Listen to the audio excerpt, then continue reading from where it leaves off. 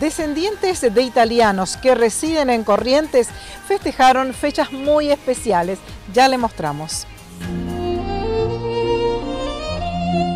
La Asociación Familia Piamontesa de Corrientes, fundada en el mes de agosto del año 2013, celebró con varios homenajes las fechas del 2 de junio, Día de la República de Italia, y el 3 de junio, Día del Inmigrante Italiano. Hubo actos y homenajes en ambas jornadas, a la que se sumó una reunión cultural llevada a cabo en la sede de la Sociedad Italiana de Corrientes, cuyas imágenes estamos compartiendo.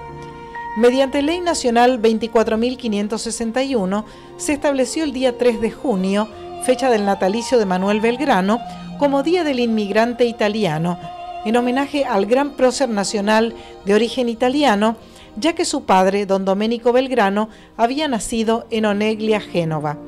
A partir de la sanción de la Constitución de 1853, el pueblo italiano sintió que las puertas de este país estaban abiertas de par en par a sus sueños y aspiraciones. Prepararon sus valijas y con el alma aventurera y sin miedo a lo desconocido, como la mayoría de los pueblos latinos, ganó espacio a la mar y se convirtió en una de las comunidades más numerosas de inmigrantes de nuestro país. Así arribaron a estas tierras comerciantes, industriales, técnicos, operarios y hasta algunos artistas, pero la mayoría de los recién llegados fueron agricultores que trajeron la cultura del duro trabajo del campo. Nuestro homenaje a los millones de italianos que durante dos siglos dejaron su patria natal para venir a estas tierras a forjarse un futuro, formaron sus familias y contribuyeron al crecimiento de Argentina.